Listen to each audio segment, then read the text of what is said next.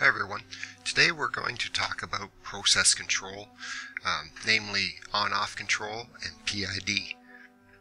And as you, as you, can see up here on my screen, we have um, a PID algorithm that you see. You have your set point, you have the amount of error, you have proportional, integral, and derivative, and then it goes into calculating what your error is going to be and control the output.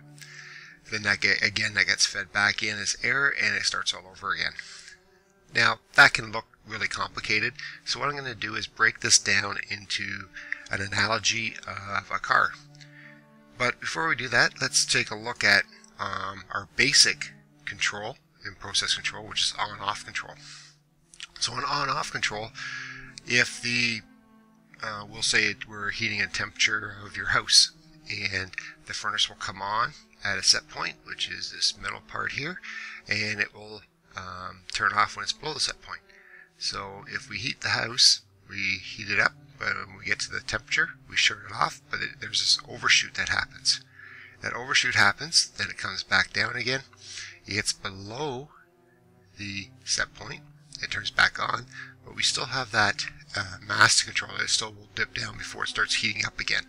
And then when it heats up again, we get past the set point, and then it turns off again, and then we get this cyclic action of on off.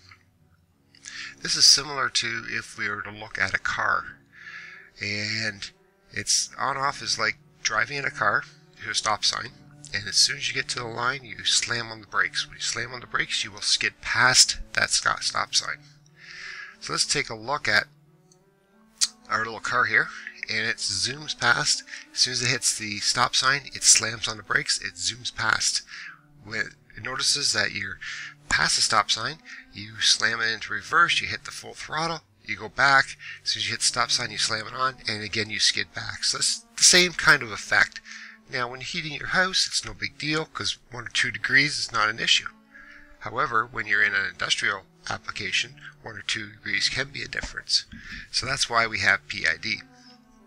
And by the way, with this on-off control, we could actually uh, take a look and put in uh, hysteresis here, and what a history or uh, a dead sorry not hysteresis but a dead zone or dead band, and a dead band just basically says when you come into uh, near the stop sign, you don't, you don't control on or off.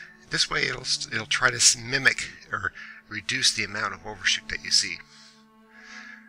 So if we look at PID and how it breaks down, first of all, proportional. And when we look at proportional, this is the amount or proportional to the error as we get to the stop sign. We'll apply brakes more and more. That's all proportional really is. And remember that PID is all based on time. So it's the time, um, which is usually called the control period, that the brakes will be on as we approach the stop sign. You can see that as we go past the stop sign or set point, the amount the brakes are on are more and more.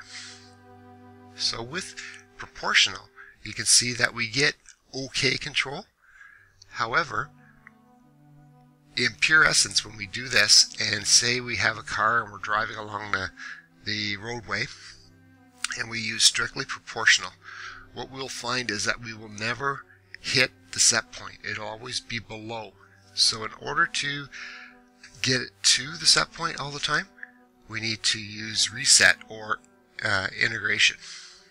This is the I in PID.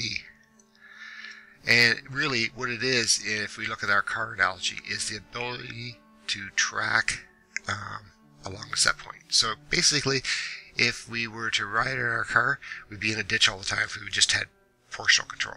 So we throw in I control and it gets us back in and then we can follow along the dash line, which is our set point. The last one um, to come into play is differential.